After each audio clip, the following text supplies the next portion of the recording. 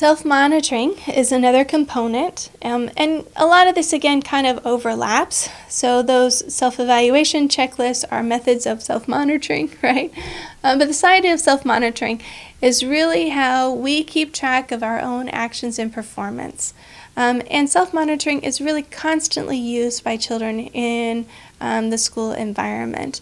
It's used in everything from frying an egg to solving a math problem. And so weak self-monitoring skills can be supported through use of like those checklists and prompts and task analysis, right?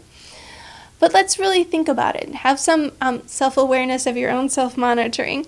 Um, for example, when I am frying an egg for breakfast in the morning, there's all kinds of self talk that's happening. Everything from trying to be the most efficient in I'll get the eggs out of the refrigerator and the milk at the same time, um, but I want to get the stove turned on in the pan first, and it's all about sequencing. And then as I'm watching the egg fry, I like my yolks a little bit yellow and runny still, so I'm constantly monitoring did I get the temperature right? Um, how is it doing? Have I added enough?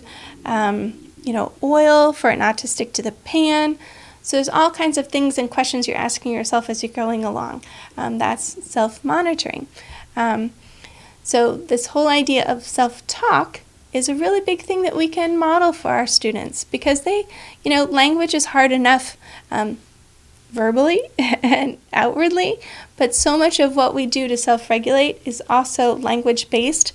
It's just what we say silently to ourselves.